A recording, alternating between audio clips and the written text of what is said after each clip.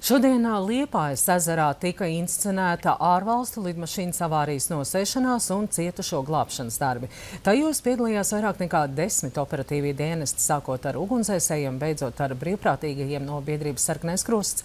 Kopējais dalībnieku skaits vairāk nekā 350 cilvēku un mācību mērķis - noskaidrot, vai Liepāja spēja nodrošināt augstu drošību lidmašīnas satiksmē un operatīvi rīkoties neierastās avārijas situācijās. Un plašāk Jānis Proģis cīnis.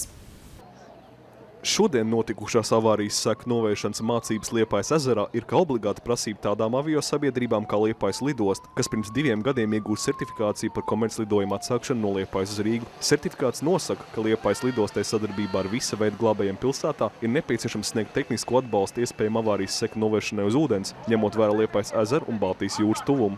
Tas, kas attiecās mācībām uz ūdeni, tas ir praktiski Liepājas lidostai otro reizi, bet tik apjomīgs tās ir pirmo reizi. Ar mācībām mēs varam pierādīt to, ka mēs esam ne tikai gatavi uzņemt pasažierus, ne tikai pavadīt pasažierus, bet arī nepieciešamības gadījumā, ja tāda vajadzība būtu, mēs viņus spētu arī izglābt. Lai visiem mācībās iesaistītiem dienestiem būtu pēc iespējas vairāk uzdevumu, apmācības scenārijs izvēlēts šāds. Lidmašīna lidojot pāri Liepājai no valsts, kas atrodas ārpus Schengenas zonas, saskars ar tehniskām problēmām un ir spiesta veikt avārijas nosēšanos Liepājas ezerā. Lidmašīnā atrodas 194 pasažieri, no kuriem 50 nav Eiropas Savienības pilsoņi. No šiem 194 cilvēkiem, kas ir uz borta, no absolūtais lielākais vairums nav cietuši un pašu spēkiem var peldēt vai nokļūt krastā. Um, vai nu, mēs viņus atvedīsim krastā, bet, bet daļa ir cietuši, viegli, vidēji cietuši un smagi cietuši. Ja? Un, un izspēlējam arī varbūtību, ka gājis bojā, arī gājuši bojā.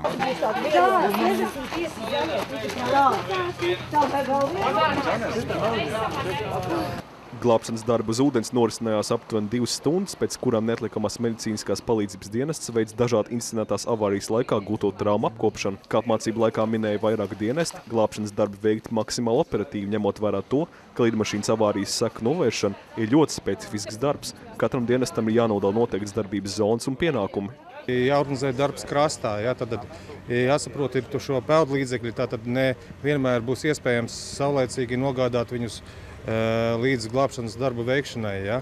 Tātad ir dažādas piebraucamie ceļi, dažādi nolaišanās vietas. Ja?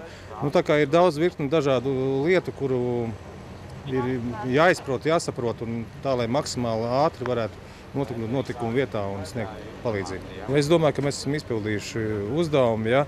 Visi atrasti, visi nogādāti krastā. Pēc mācībām visi atbildīgie dienesti izvērtēs padarīto un pilnīgi rezultātu analīzes sola publicēt divu nedēļu laikā. Jānis Proģis Cīns, Elvis Puķēts, TV Kurzeme.